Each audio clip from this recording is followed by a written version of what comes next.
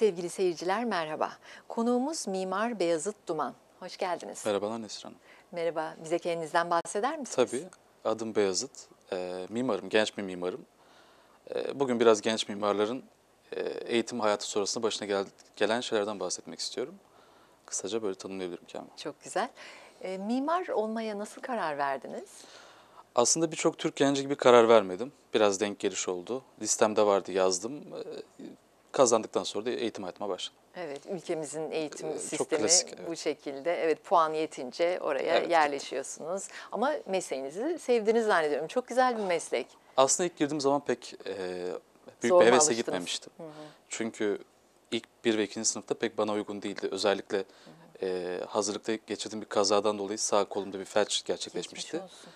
Ve ilk bir yıl genel olarak mimarlık eğitiminde maket ve daha soyut tasarımlarla çalışmalar gerçekleştirirsiniz. E, tutmayan bir kolla da bu maketleri yapmak oldukça zordu. Fakat zamanla sevdim tabii ki. Çok geçmiş olsun. Şu an iyisiniz zannediyorum. En azından sıkabiliyorum evet. Aa, çok güzel. Nasıl oldu kazanız? E, komik oldu aslında. Bilek güreşinde kolumu kırdım. Aa, çok geçmiş Sinirim olsun. koptu evet. Aa, çok geçmiş olsun. Peki verdiğiniz hizmetlerden, çalışma alanlarınızdan bahseder misiniz? Tabii, e, mimarım zaten söylemiştim. İki senelik bu kariyerim boyunca öncelikle Azerbaycan'da çalıştım, Bakü'de. Mezun olduktan üç gün sonra Azerbaycan'a yerleştim bir davet üzerine. Daha çok e, konut alanında çalışıyorum. Villa, yazlık evler. E, bu şekilde. Çok güzel. Peki meslek hayatınızda karşılaştığınız zorluklar nelerdir? E, genç bir mimar olarak benim en çok zorlandığım şey bürokrasi oldu. Üniversite hayatındaki o toz pembe dünyadan sonra bir anda bürokrasiyle karşılaşınca yani yapabileceğimiz şeylerin bir şekilde sınırlandırdığını gördükten sonra epey zorlandım açıkçası. Ona alışmak, o kurallara adapte olmak, onları öğrenmek, hatta öğrenmenin ötesinde ezberlemek e, beni epey zorlamıştı. Peki sizin en önde gelen özellikleriniz nelerdir? Ee, sanırım çalışkan olmak, insanların emeğine saygı duymak. Çünkü sonuçta Türkiye gibi bir ülkede bir konut tasarlarken bizden bunu talep eden insanların senelerdir yap verdiği bir emek var. Ee, ona saygı duyarak, onlara işlerine özenerek çalışmaya çabalıyorum. Evet. Geleceğe dair vizyonunuzdan, hedefinizden bahseder misiniz? Tabii e, özgün işler ortaya koyup öldükten sonra da arkamda bir şey bırakmak istiyorum. Ne güzel. Evet.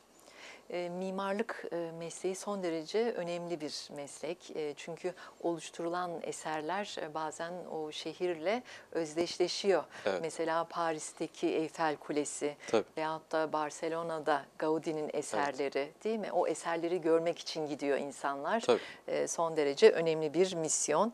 E, sizi en çok e, etkileyen mimari tarzlar hangileri acaba? Aslında bu çok popüler bir cevap olmayacak. Ben e, Sovyet brutalizmini büyük bir hayranlıkla takip ettim. Ve buna olan ilgim de her geçen gün arttı. Bu sebeple her ne kadar bu eski Sovyet ülkelerinde, eski Sovyet e, coğrafyasında terk edilmiş olsa da ki bu benim Azerbaycan'a gidişimin en büyük sebebidir onları görmek. E, Latin Amerika'da şu an devam eden ve belki Sovyetlerdeki o brutalist akımın devamı olarak gözükebilecek e, mimari anlayışı daha çok beğeniyorum. Evet, çok Sade, etkileyici ama temiz, sütürü gizlemeyen ve mış gibi yapmayan eserleri büyük bir hayranlıkla takip ediyorum. Çok güzel. Peki e, iyi bir mimar olmak için hangi özelliklere sahip olmak gerekir? Mimar olmak isteyen gençlere tavsiyeleriniz nelerdir? E, mimar olmak isteyen gençlerden biri de benim. 25 yaşındayım. İki senelik deneyimde, deneyimim sonucunda tabii ki iyi bir mimar nasıl olmalı buna cevap vermem çok zor. O yüzden bencelerle konuşacağım. Bence bir dürüst olmalı. Ondan sonra çalışkan olmak zorunda. Ve her zaman neden sorusunu sormalı. Yani bir binanın yanından geçerken bunu neden böyle yapmış, nasıl böyle yapmış, böyle yapmasaydı ne yapabilirdi sorusu. Ee, ve saygılı olması bunu yapan mimara. Etik değerler. Tabii mimarına, kendinden büyük, daha deneyimli insanlara her ne kadar katılmasa bile şart olarak görüyorum ve bunu da uygulamaya çalışıyorum. Ve e, dünyayı takip de önemli. Çünkü Tabii. e, bu size e, farklı bir vizyon katabilir değil mi? Tabii. Bu da son derece önemli. Ve e, sanatı takip etmek e, sizi çeşitli şekillerde besleyebilir e, bu konularda.